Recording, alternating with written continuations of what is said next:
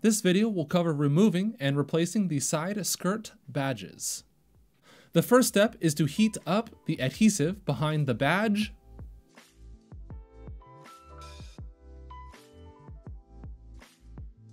Peel up the badge while protecting the paint.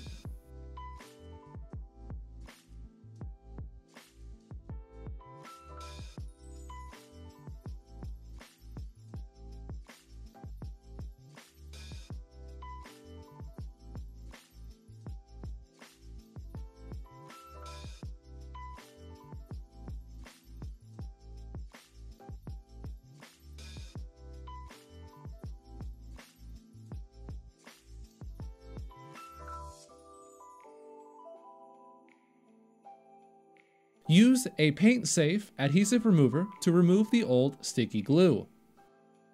A plastic scraper helps remove the adhesive without damaging the paint.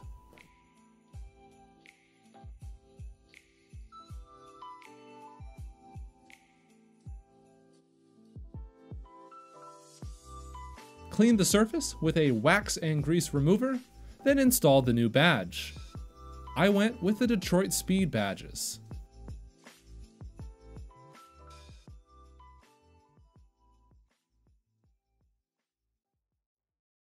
Thanks for watching.